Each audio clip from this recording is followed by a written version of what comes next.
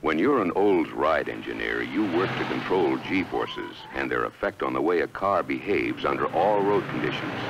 That's why Olds Delta 88 for 71 is a better riding, better handling car. Its new G-Ride system proved out on the test track.